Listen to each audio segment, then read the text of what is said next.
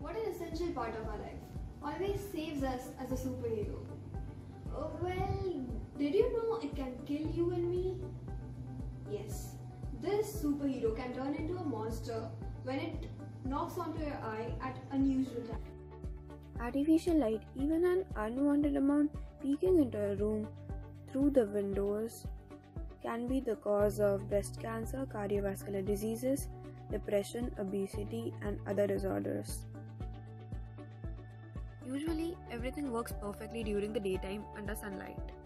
So, how and when can this superhero turn into a monster? To know this, let's first look at the pathway of light. Light entering our eyes falls on retina, where intrinsically photosensitive retinal ganglionic cells, or the IPRGCs, that are photoreceptors, report the presence of light to the parts of brain.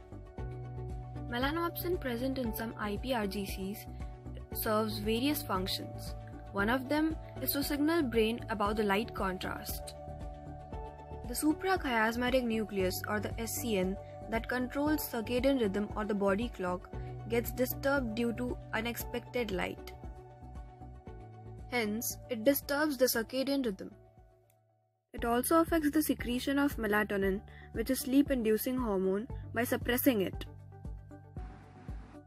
But whenever an untimely guest, a monster in the form of artificial light, enters our eyes, IPRGCs tell our brain not to sleep by resetting our circadian rhythm and helping suppress melatonin hormone, which leads to high risk of diseases.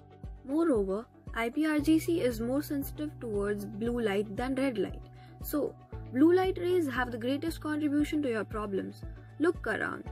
See how much blue light are you exposed to. Even white fluorescent tubes, bulbs, and screens of devices emit blue light in huge amounts.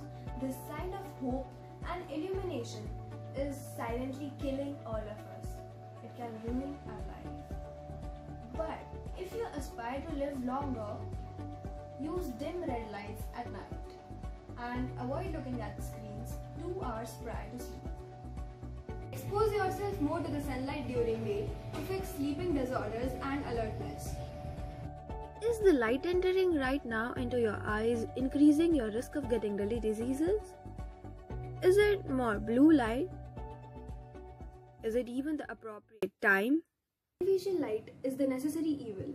Use it wisely, or the light for life can turn into light for death.